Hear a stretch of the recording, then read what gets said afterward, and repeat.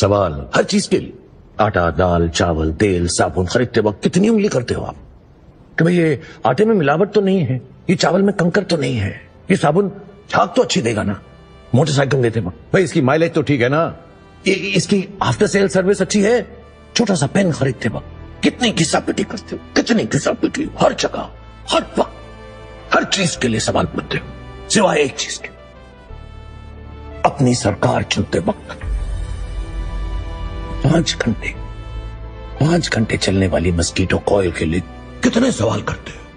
इसमें धुआँ तो नहीं आएगा, ये बदबू तो नहीं देगी, इससे मच्छर तो मरेगा ना।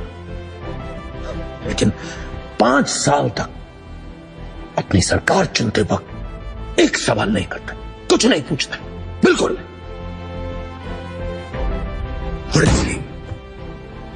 मेरी डिमांड है ये उंगली। धर्म पैसा जात पात धर्म, संप्रदाय के लिए वोट देने की बजाय, जो आपसे वोट मांगने आए, आप उससे सवाल पूछो। पूछो उससे कि अगले पाँच साल तक तुम मेरे लिए क्या करोगे? हुँ? मेरे बच्चों की शिक्षा के लिए क्या करोगे? मुझे नौकरी दिलाने के लिए क्या करोगे? मैं अगर बीमार पड़ गया तो मेरे परिवार के लिए क्या करोगे? अगले पाँच साल तक तुम मेरे देश को आगे बढ़ाने के लिए क्या करोगे? पूछो वोट देने से पहले।